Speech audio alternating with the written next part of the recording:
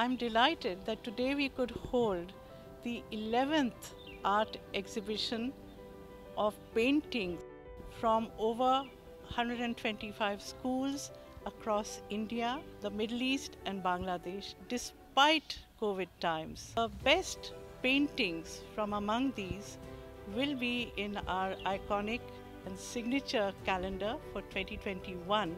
However, each painting is special. So we plan to bring out a digital album to share the talent of our artists.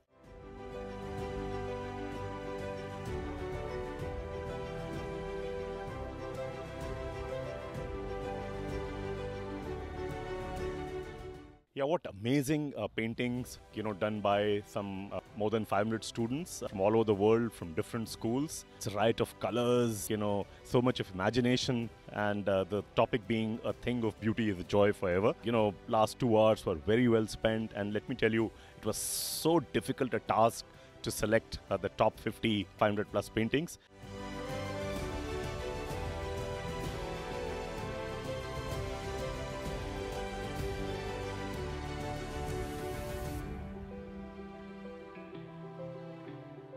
It was a pencil sketch of uh, two hands, probably a father and a child. It's so beautiful. It's totally unconditional love between the two. It depicts. As we know that this is the most trying times, but the kind of innovation and creativity that the children have brought forward, it's really mesmerizing.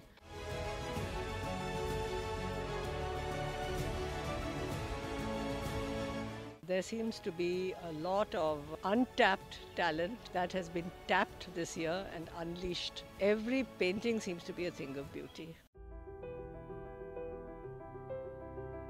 It's really beautiful to see the quality of art that's showcased, and particularly at a time like this that brings so much joy.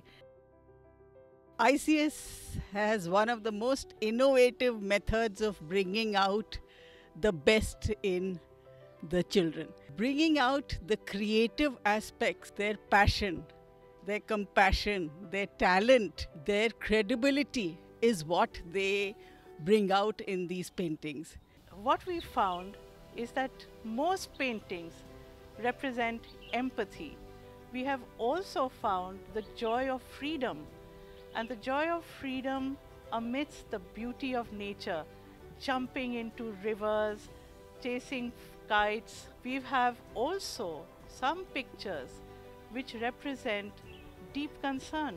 So we have some paintings with our dark paintings which depict depression but hope at the end of that depression.